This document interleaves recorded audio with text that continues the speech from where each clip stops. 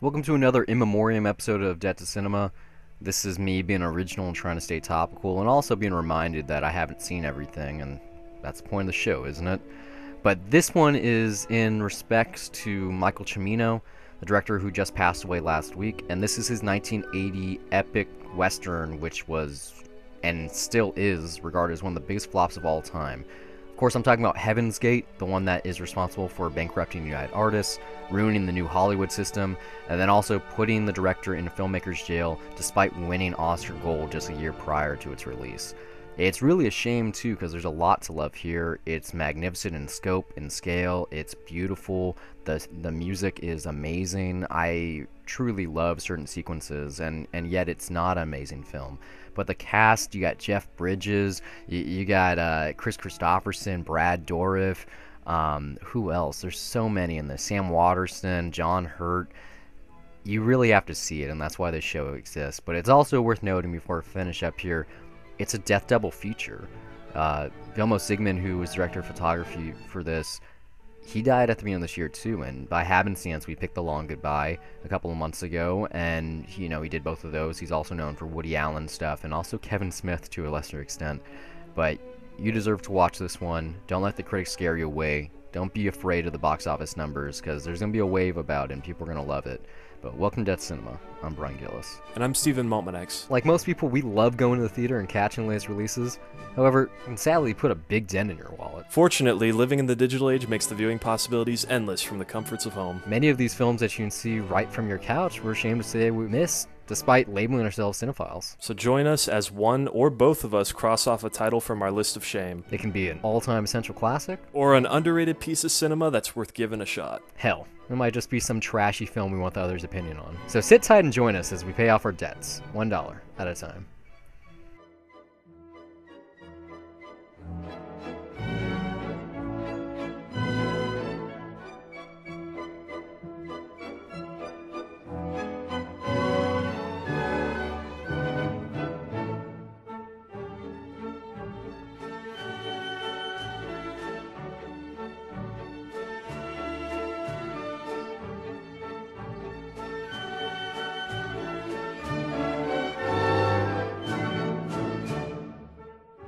I guess we kind of had to watch this movie eventually, right? Uh, this is Debt to Cinema. Forget Michael Cimino dying this past week. I feel like it's a bit premature for me, but uh, yeah, I you know I'm glad that I got this out of the way now. right?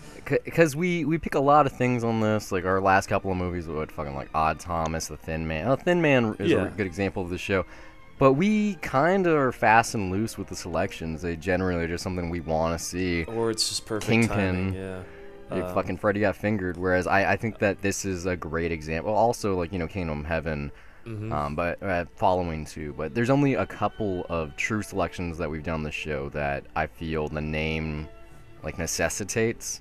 It's like I had to see this for a reason. I've learned about it for like a decade almost now. But I mean, th- I think this goes beyond that. Like, there's some things in here that just echo recent history and just such a, you know, such a terrible way. I mean, it, this, it's kind of like how you picked Bulworth, and hmm I, I just, you know, it's a good movie at the end of the day, but I just felt like it hit too close to home. That my experience watching it was just me being purely cynical on real life issues and, and this sort of like that but i don't Hmm. think any of that is going to have to do really with the criticism here because without getting like having an opinion on it yet. I think at the end of the day this is a very thought-provoking movie at least on class warfare and just immigration and you know taking in refugees and you know having you know there's a party right? Like this is happening especially after uh, Paris and you know trying to take in Syrian refugees here and you know a, certain party trying to go against This that movie and, is you know it's a lot of things. Yeah. It's an epic, but at the heart of it, it's like you said, it's it's about feudal warfare in the Wild West at the dawn of modern society. You know, like the, the immigrant experience in the frontier. Mm-hmm. and just the power of the super rich having over Mhm. that even like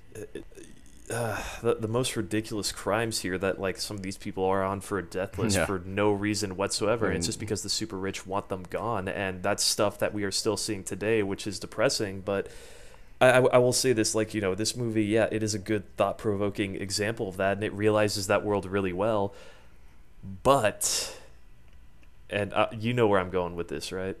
Maybe not. Do we feel do we you. feel the same about this? I, I really like this movie. Okay, well, can we? I, I think we gotta get, get this down first because um, there's several cuts of this movie. Did you see the Criterion director's cut? Yes, I saw Okay. the Criterion director's cut. The way you can tell it's that, besides the length and it starting with the Criterion logo, is that the foreigners, the what I think they're Russian, they don't have subtitles whenever when they're talking in their native language. All right. Well, there's no subtitles in mine either, but I got Yeah, this. we should have seen the same cut. I got this off Amazon Instant, and it started with the MGM logo and the United Artists logo, and it was 219 minutes long. So from what I Yeah, can gather. too. Uh, yours well apparently the Criterion cut is um, 216 minutes. Oh yeah, you must Yeah. have seen the radial cut. I uh, and what I had was I had an intermission in between. I don't know if you did. no. no Okay, intermission. yeah. So from what I can figure, what I had was either the initial premiere release, uh, according to Wikipedia, or what's called as the radical cut. Yeah. and they both I have think it's no, I think it's 219. uh I think it's radial. No, it says radical cut. Um, I'm looking at it right now, but from what I can tell, it's maybe those two are the same thing. Just the intermission. Yeah. But I don't know how substantial the stuff in the middle is here. Like that might be cut out because I think there's just a few bits of, according to the, I guess the Criterion release. Okay, it takes out the intermission. It's slightly shortened on some cuts in there, but I think we may have basically seen the same movie, and this one really, really has a lot of stuff that could have been trimmed on there. I really, like I said, I, I really enjoyed most of this. You know, despite not liking epics, like I said in the intro. Mhm. That if I cut off the first thirty minutes of this film and the final ten, I think it would be a great film. But it kind of suffers in the same way The Witches does, where it just kind of goes overboard once you get to the true ending. And I was like, "What the fuck did I just watch?" Well, like I, I was I'm on the exact mad. opposite because actually my favorite stuff in this movie, like the stuff that actually sticks with me the most, is in that first like 20, 20 to thirty minutes, Mm-hmm. Really? and I think you know even though I wasn't that into the rest of it, I think the ending lent a bit more substance for me because I mean that opening.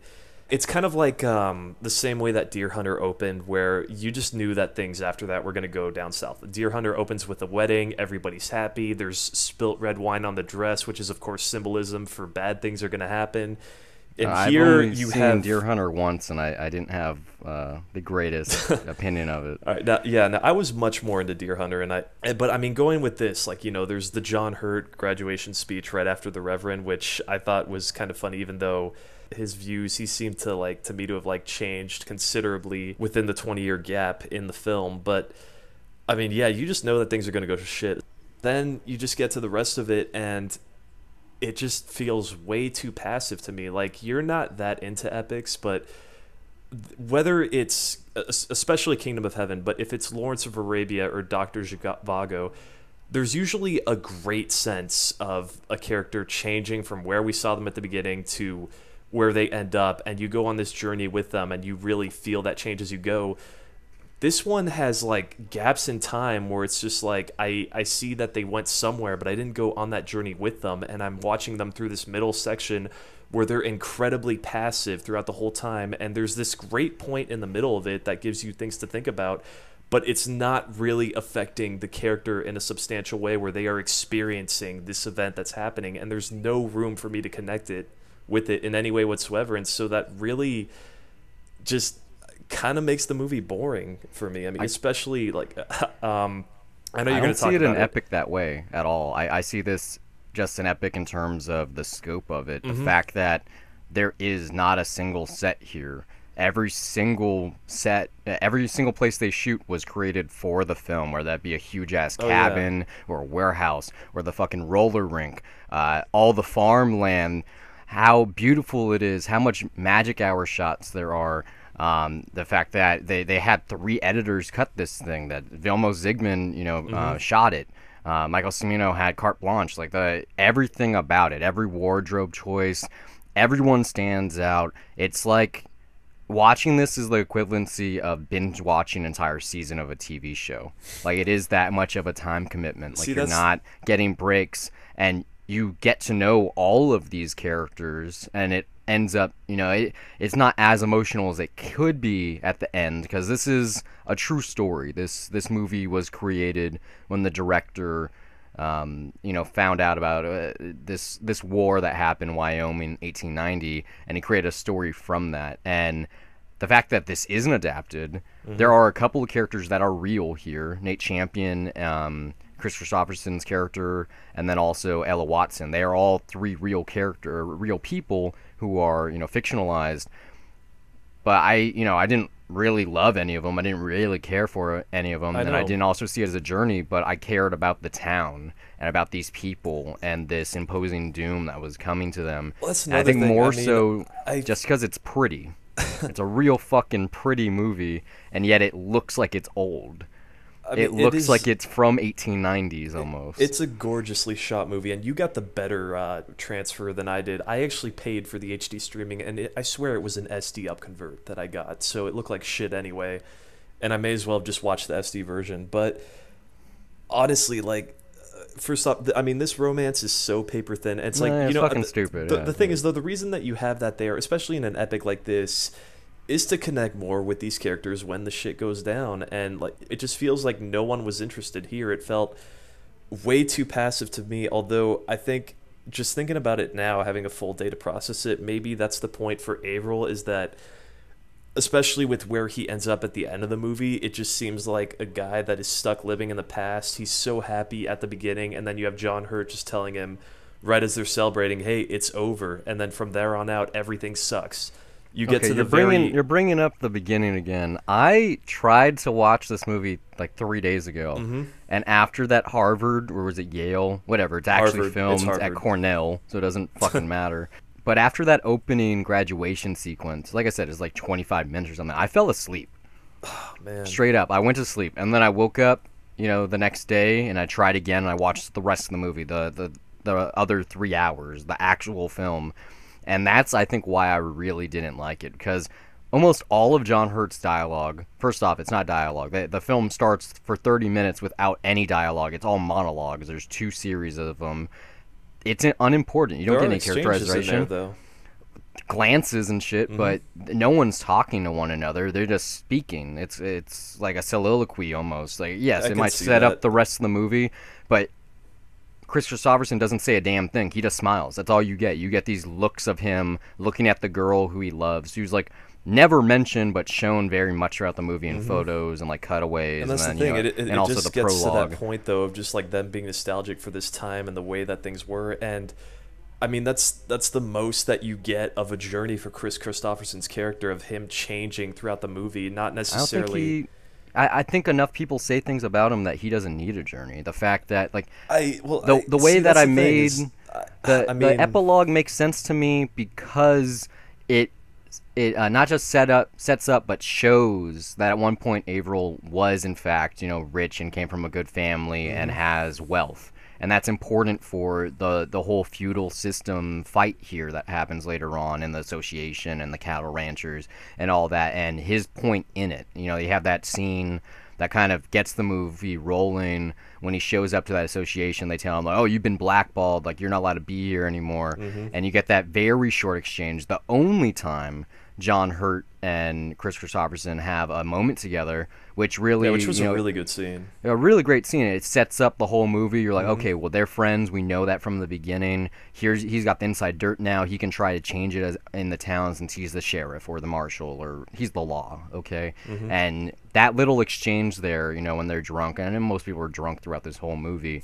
um, that kind of got me interested. And then uh, it's also the cast. You know, I sold this on you for you know, oh, it's know, Heaven's Gate. We got to see it, and it's Yeah. Michael Cimino. But oh my God, every single person in this, even if they're not in for long, you might not know the name, but you know who they are. I mean, like- Jeff Bridges, Kris Kristofferson, John Hurt, yeah fucking Willem christopher Dafoe, walken I Sam mean- Watterson, um, wait Brad where was Willem Dourif. Dafoe in this He's in the cockfight for like a second. He's not even listed, but it's his first movie.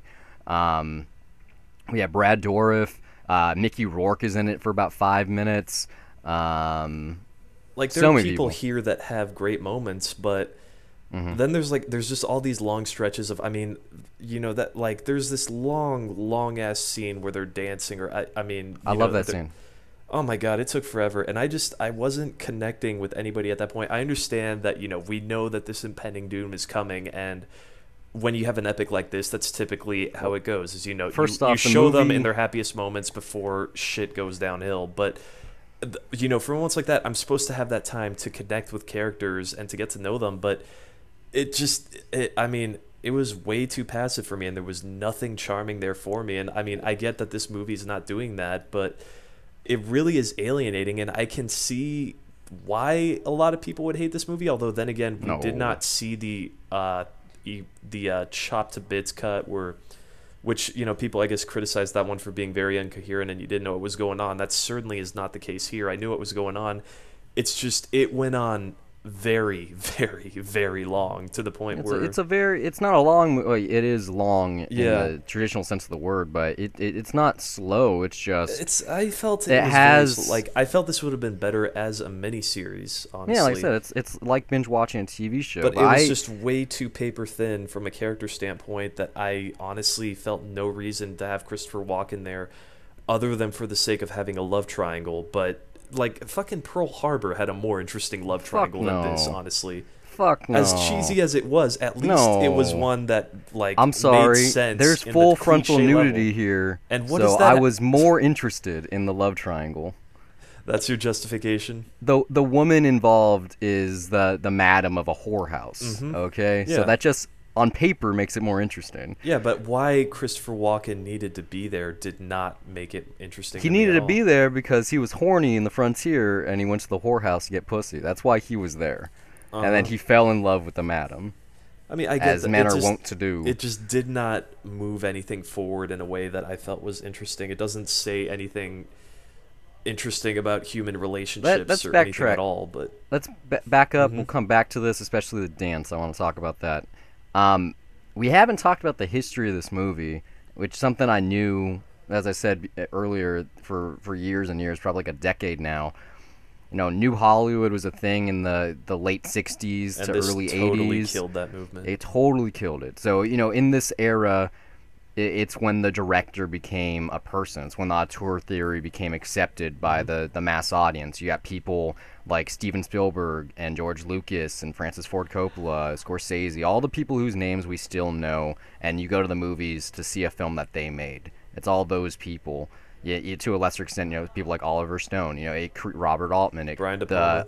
Brian De Palma. They created the artistry behind the name, and so we we moved from a Hollywood system, the vertical integrated classical era, to this this new Hollywood where everything is hip. You got stuff like Easy Rider.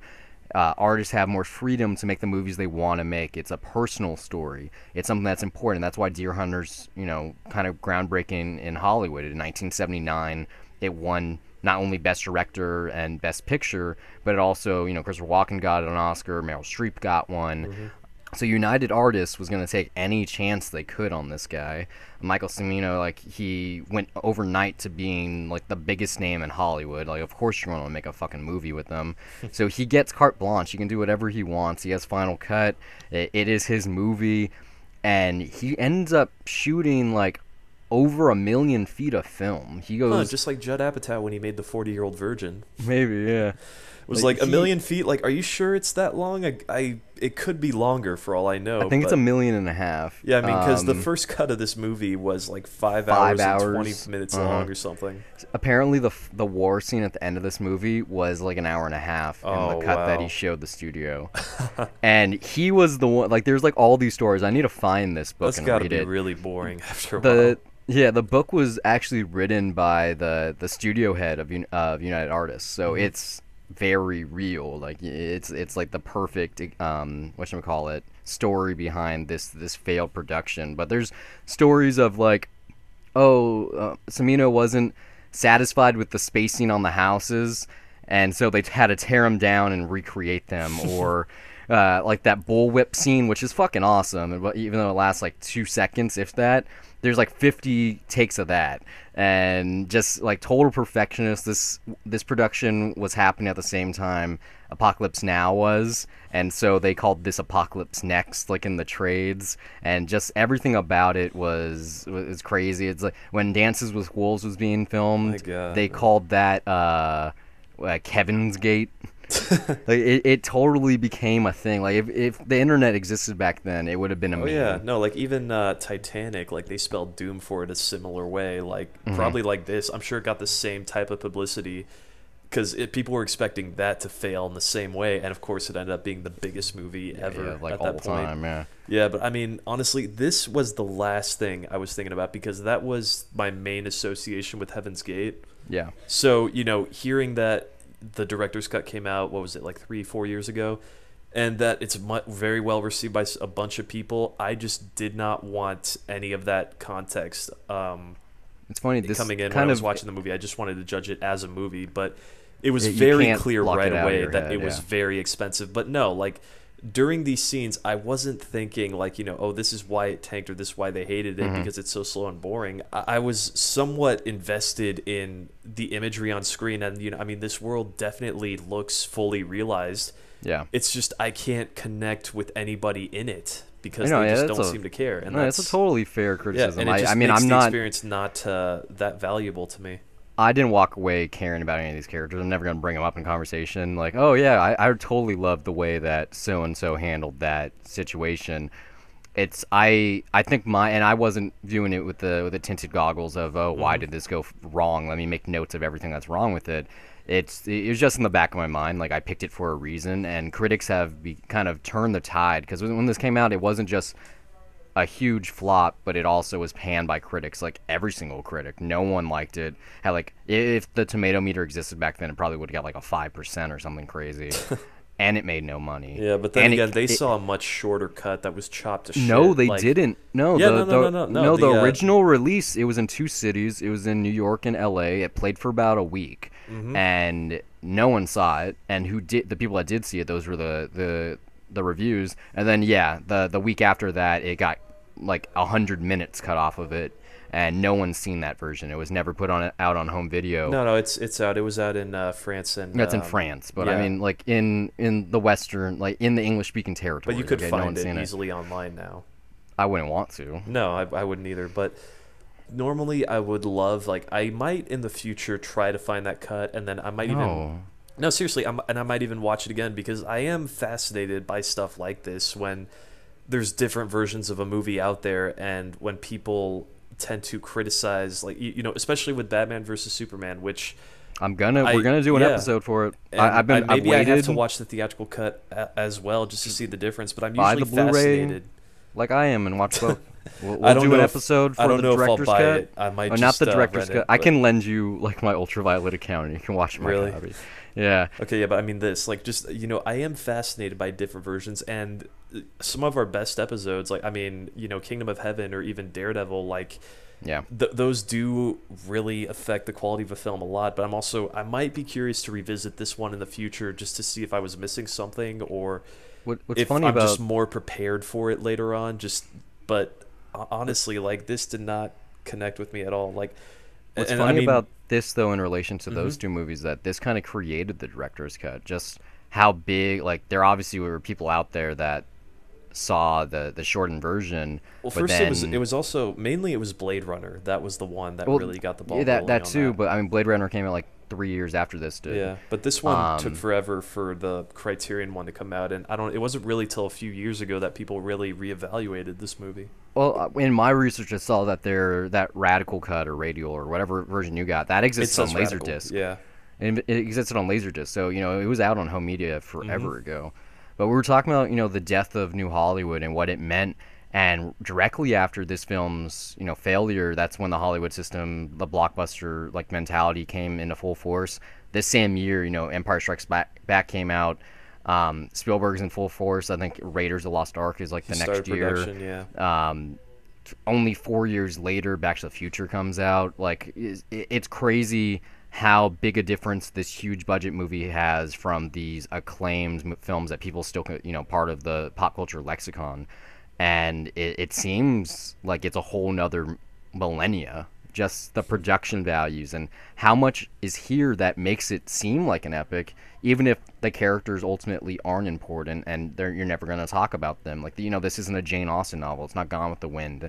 And then again, then again, I was thinking about Gone with the Wind a lot when I was watching this because, in my opinion, this is a much more interesting movie.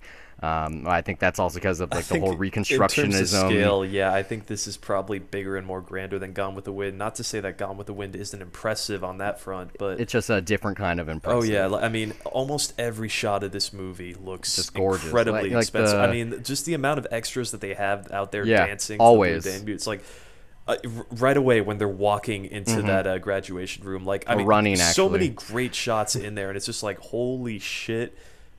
this like I I can already see like where the money is going. Well, that's what's funny though. The epilogue and prologue were actually shot after principal photography was completed. So they shot the bulk of the movie, the middle so it feels of the like movie. they dumped way more into the yeah yeah. yeah it wow. was like that. That cost like seventy million or something, and then well, in their money like thirty. And then after that, they were satisfied, and they told him like, "Oh, you can go shoot your prologue and epilogue, it has to cost less and less, and you have to shoot it for this amount of days, no, no more, no less. And so then he was able to do it because I mean the epilogue it does set up everything. Within the prologue, just that yacht alone had to cost like a million dollars. Um, coolest yacht ever. The, I don't know. There's a lot here. You were talking about dancing earlier, and you keep mm-hmm. on bringing up the Blue Denby. My favorite thing of the movie, and it had to be Michael Cimino's too, because the film is titled Heaven's Gate, mm-hmm. which has like really no meaning other than the fact that that's the name of the roller rink. It's the main thing in town. You have these like signs on it where it's like it's a moral and fun excursion or something like that. But just the way you're kind of introduced to it with that fiddler on the roller skates whose name is David Mansfield and he single-handedly composed the entire film score mm-hmm. and recorded all the instruments himself. So he has this really amazing, probably one of the best things in cinema, in my opinion, where he's on roller skates, skating around, doing like complicated maneuvers while playing on his fiddle.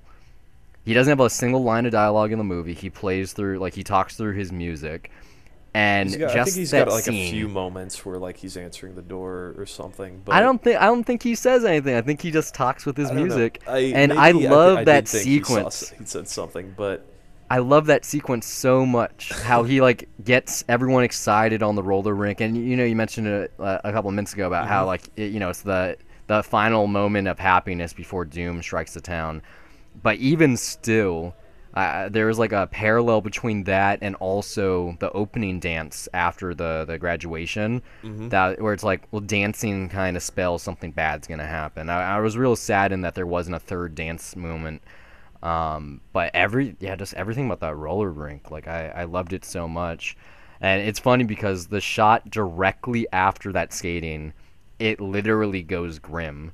Like it's shot at night. It's the first nighttime shot of the film and it's like clouds are moving in on the uh, the town and making it dark. Mm-hmm. And then mm-hmm. directly after that, Christopher Walken's character shows up, and it's it's dark yet again, and he's wearing dark clothing, and he's going to the whorehouse, and it's just like ooh, things went spooky. Because before that, it's very not happy-go-lucky, but for the most part, you know, it's it's pretty either cheerful, I guess I could say, or kind of whimsical. Like it, it just feels like a day in the past. Like you're kind of going along with this law, and there's no conflict or anything besides like you know this little moment you have at the association. But for the most part, that first hour of the movie, uh, it's like oh, this is like a, a little fun. This is why it's called Heaven's Gate because it's it's paradise, right?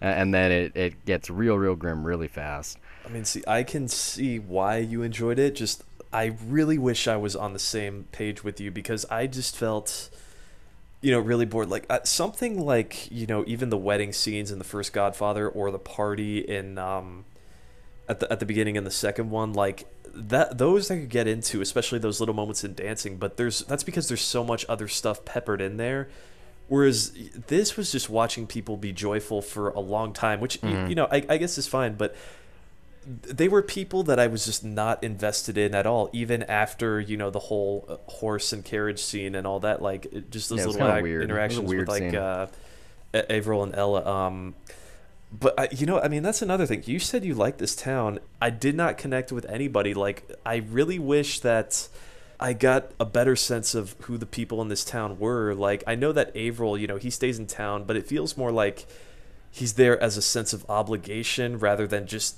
because he knows and cares for these people even though like he knows who they Mm. are but I I never both. I never feel like I got the sense to really know who any of them are when you get to that name where they're reading all the no, when you Yeah, get to that scene list, where they're yeah. reading the death list going through so many names I'm just kind of I, I see why they're upset, but I just don't feel it. And you know, it's going through so many names and it feels repetitive over and over and over again. Like there's going to be a freak out over every single name, and I just don't feel like a- any of these people like like there was any emotional investment there. I was just kind of like, okay, they're to name someone that's to die and it's to be tragic, but I don't feel like I should care every time that they just cry even louder and louder and louder and.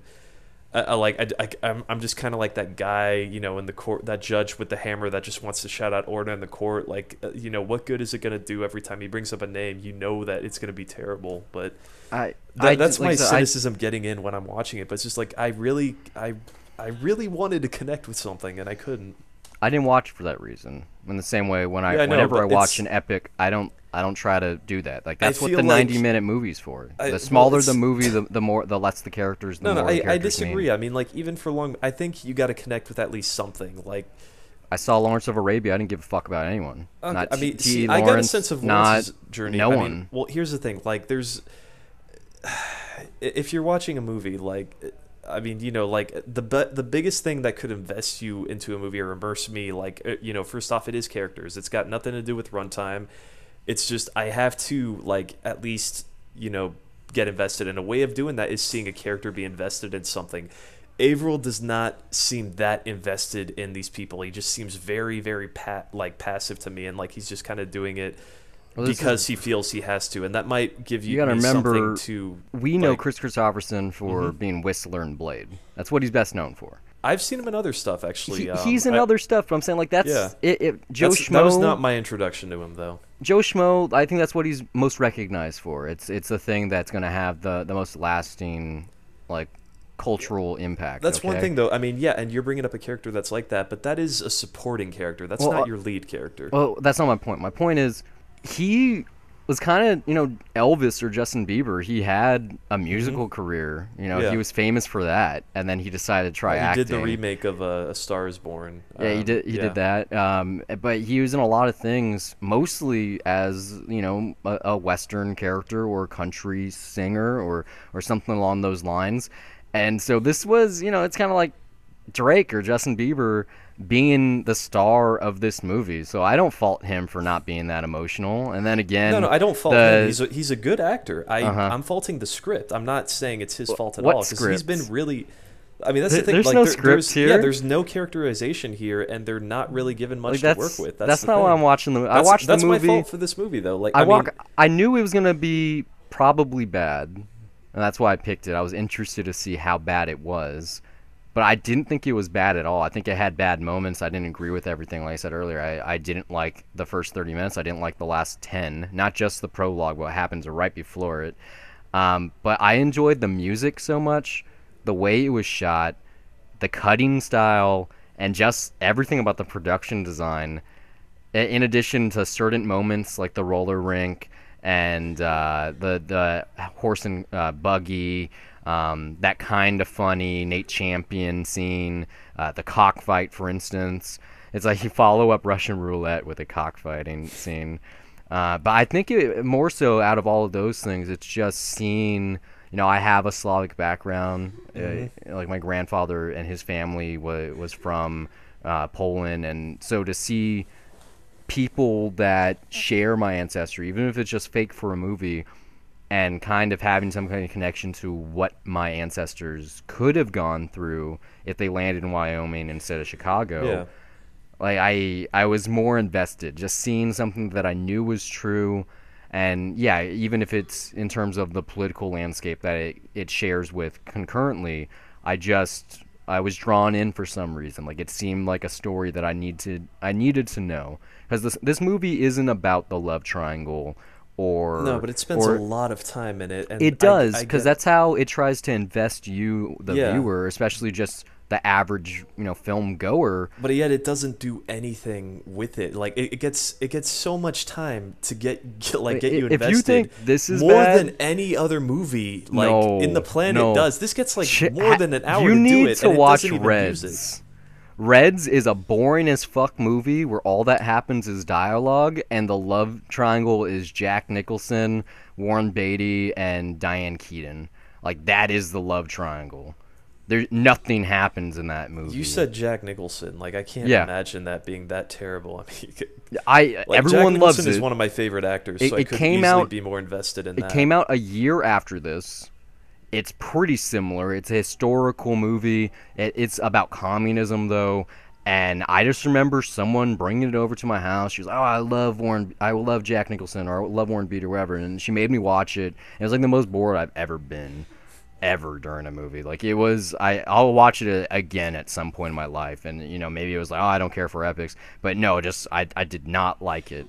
And that movie compared to this one, like they're very similar. Mm-hmm. Like besides the historical accuracy and the love triangle, just the scope of it and the runtime, like they're very similar movies.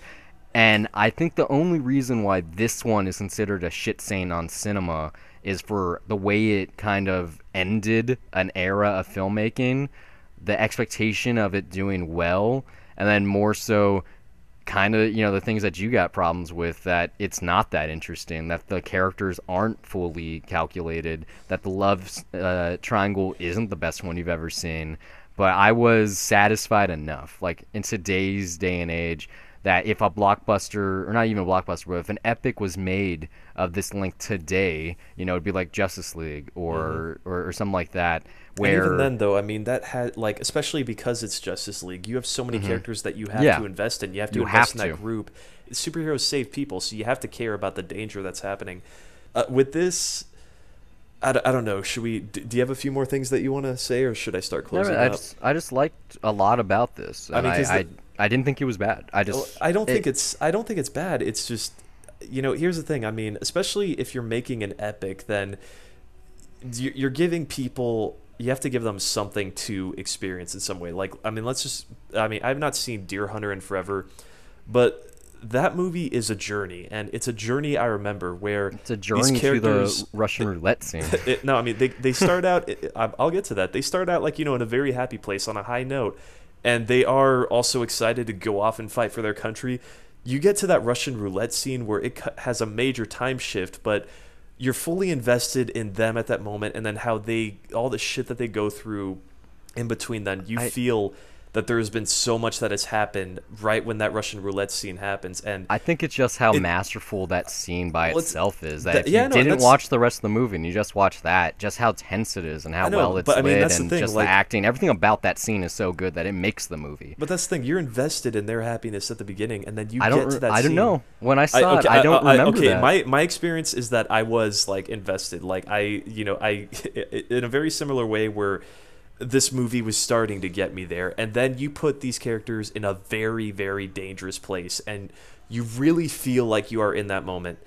This movie doesn't have that like at all. I mean, and that's not saying that it should, but it's just it establishes these characters and then it puts them in the middle of a journey that doesn't really affect them personally and it affects a whole other group of people and i think i see at the end of the day what the movie is trying to do and i respect it for it because at the very least like you know even if a movie like what a movie should do is one of three things to me is that it should make you feel it should entertain you or it should make you think. Um, and, and you know at the, at the very least this movie made me think. And so you know that is giving me giving it credit that you know there is absolutely thought put into this like this isn't a total piece of garbage at all to me but I did not I was not entertained. I did not feel anything and usually when you feel something it's because you are able to in some way relate to or at least be able to sympathize or empathize characters on this journey. And it I really th- this is not this was not a pleasant or I mean not an unpleasant experience. It just was one that really did not resonate with me in any other way. So I don't, you know, I, I don't really feel like for me, like there was much value here. but I still am glad I saw it, and I'm pretty sure I will be compelled to revisit this in the future because this is like one of those cases where it was a lot like Knight of Cups in that I'm just kind of following around these characters that are so passive and are really j- just seem so out of touch and so jaded. Except Uh, you Knight know, of Cups except has no structure. Yeah, and and, th- there it's- th- that's much more like you know 21st century rich guy trying to connect with something and is just being whiny the whole time. This is like at least there's like larger circumstances happening in there. Like there's things that are happening in that world, but I you know I want to. Um, I, every time I see something like this, it's like I do think I will revisit it because I want to like it so bad. I want to connect with it in some way, and I think uh, maybe the point might have more significance to me later on. You know, because yeah, this is undeniably beautiful to look at, but I just I need something more than that. That that, I- that isn't enough for me. I wasn't entertained by this, and I don't think that's the necessary. Well, but I just Like, I, fa- I, sh- I'm- should be experiencing something, and I should Sure. be taking something let, away me, from it. Let me get my thing in here though. I, I didn't have to be entertained because I was engrossed. I at no point was bored during this film, if you want to believe that or not. outside was. of the first 20 minutes, like that real shitty Harvard thing that I didn't enjoy. Outside of that, I was never bored. I'm like, I was- by that. I was interested in what was going to happen next, even if it took a long time to get there. Like, it does a great job of showing its hand very early. Like, you get that John Hurt sequence where you know, or at least Kris Kristofferson knows, that shit is going to hit the fan. And the whole film, when you're getting to know these people and their relationships and their struggle and how hard it is to till the land and, and these people getting shot and their cows uh, like robbed and all this stuff all the while i'm thinking when's the death list going to happen when are they going to die how are they going to die and it, it might have not culminated in a great way that i thought was important like maybe if it the took a very realistic approach to it, which I It appreciate did, that. But I but mean, it- you know, it it, just, it felt especially unimportant because Yeah. there was no connection to anybody. But i th- that's where I take issue. there's there's a lot here outside of just you know the roller rink that I enjoy. There there's like a real funny sequence involving wallpaper. Um, there's probably one of the more realistic portrayals of rape I've ever seen on camera. Oh, um, there there's just a, a lot here that you know, fucking John Locke from Lost is in this. Uh, yeah, which I don't I don't know who he was. I saw his name in the He- credits and I was like, oh shit, he's he plays one of the uh, one of the the mob men that are part of the association. Did he have hair? Yeah. That's why I couldn't tell. Yeah, it, it like you have to look look at him. It's Mhm. like you know he also played the baddie and the stepfather, but yeah, like I I realized like who the fuck is that? I was like oh John Locke. Um, but there's like a baseball scene in here that just proves that ridiculous six is wrong. That baseball existed before then. Uh, uh, I there's like this real when when Kris Kristofferson and Christopher Walken they have that their first scene together. It's shot in deep focus, and there's a juggler outside the window in the background like training to you know entertain kids and it, it is it gave me like a, a Citizen Kane feel to it. It's like here's the foreground, the middle ground, and the background. You can see it all at the same time and what's important. And oh, yet it was Citizen Kane had a far more engrossing scene when that was happening. it's it's a better movie, okay? But I It's a great movie. I'm like the opposite of you on this one. I mm-hmm. saw it. I don't know if I ever have to see it again, but I probably will. But I can talk about this movie now in a way other than, oh yeah, isn't that the movie that fucking destroyed the Deer Hunter's career? That, that that's that movie, right? The movie that destroyed Hollywood for a couple of years. And instead, I can say, oh no, that's the real interesting movie that no one gave a shit about until the director died.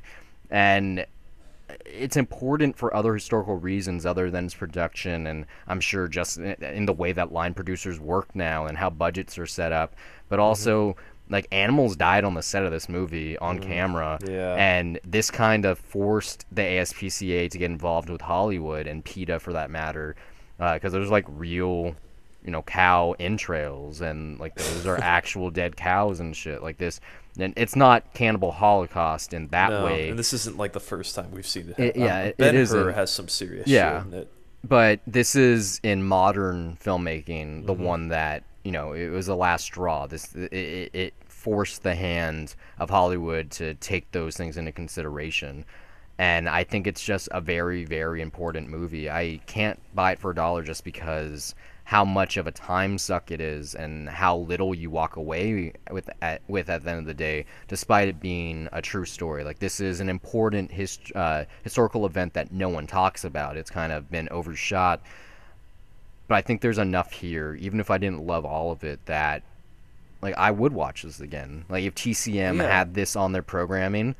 I would be interested in what like you know Ben Mankiewicz had to say about it. Absolutely, yeah. Um, I mean, I, I can't say this is a total failure. It's just, you know, this is one of those cases where I just think like I, I would definitely see this again. It's just a 1st viewing is not necessarily one that really resonated with me. Like, and I could find that there's a lot more going on on a character front. I would I would love that, but I mean that is my first entry point into any movie whatsoever. So naturally that is where my criticisms fall if it's not there. But yeah, like I I, I seriously I, I just I really want to give this more credit because there is a lot of impressive things happening here technically, and I've I've said this over and over again. Like yeah, I, I think like yeah, just the setting and just the conflict in general. Like there is if, if the characters were stronger, then this is the perfect setting for just a great story. And I didn't get what I would hope, especially after because it's like it's not necessarily the slowness or anything that I mind. It's just there's very little substance here, at least not as much as Deer Hunter.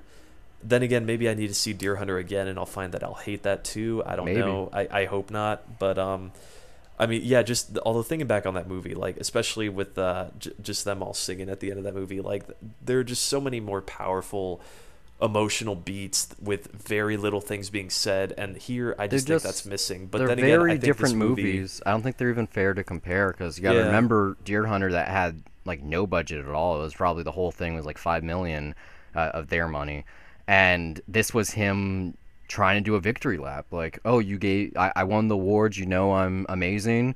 Let me show you what I can really do when I have the ability to. And I didn't. I don't think he failed at doing that. No, I, I think that I this is think- one of the more impressive productions I've ever seen. Like I've yet to see any other film, whether that be an epic or you know a small indie, that can create a world of this size that's believable. And you might not love all the characters in it, you might not Yeah. care for any of them, but I believe that this was real. I believe that this was 1890s Wyoming everything about it and that's what's important to me here that it feels like a historical document that in the same way you know if you watch singles or fucking uh, like mall rats it gives you a true sense of what the 80s are like in or the 90s. 90s rather Yeah. in um in Seattle or the 90s in a in like a, a mall in middle America. Like it gives you that feel. You just watch you're like I got it it's there. And the way like a John Hughes movie does it that this feels like that. It feels like it more than Gone with the Wind feels like you know it's in the South during the Civil War or more so than 2001 feels like it's in space I I don't know how they did it but it it if it wasn't for the R-rated aspects here, this would make a perfect movie to show during like seventh grade history when you're learning about the Wild West and things of that nature. Because it's not a western in how you know Stagecoach or Silverado is, but it's just as important, and it's a lesser story. But the production, it, it, it just it surpasses anything else. Like it was nominated for one Oscar, and it was art mm-hmm. design, and it lost, which flabbergasts me. Yeah, which that's just absolutely that's just the Academy going, oh, we don't like that movie, so screw this. Thanks for listening. We hope it's been a pleasure. If you like this show and you want to hear more of our wonderful voices on a weekly basis, check out Two Cents. I'll recap what's happened in film, TV, and tech news. We're also on the titular Dollar Review Show, a spoiler free critique of new releases or anything we've discovered on our own, whether that be TV, music, etc. You can find all of our content at dollarreviews.net. Follow us on Twitter or like us on Facebook at Dollar Reviews. And we're also on Google Play Music, iTunes, Pocket Cast, TuneIn, Stitcher, SoundCloud, YouTube, just about anywhere on the internet with hours of content available to you for free. But for those of you that feel that the show is worth your dollar, you can send us a donation at patreon.com slash dollarreviews.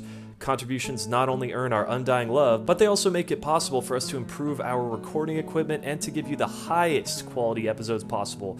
but more importantly, they'd be helping us acquire the content to review. You know, trips to the multiplex are expensive, and the more donations we receive, the more films we can review for your listening pleasure. If you listen somewhere we're currently not available, you'd like to contribute some talking points, send a Debt to Cinema request, or if you just want to laugh at us, you can do so by reaching out to us on social media or send an email to bryon at dollarreviews.net. Or you can email me as well, steve at dollarreviews.net. You can follow me personally on Twitter at Bryon Gillis, that's B R Y O N G I L L I S, and now you know how to spell the email too, and also under the same name on the Love lovely site Letterboxd, which acts as my film diary where I rate films I'm watching, write the occasional review, and even sometimes compile lists. You can also find me on Twitter at S underscore MTX, and also follow my film diary at Letterboxd under the same name where I log everything I watch and sometimes write brief reviews. That's it for this week. Until next time, keep the change.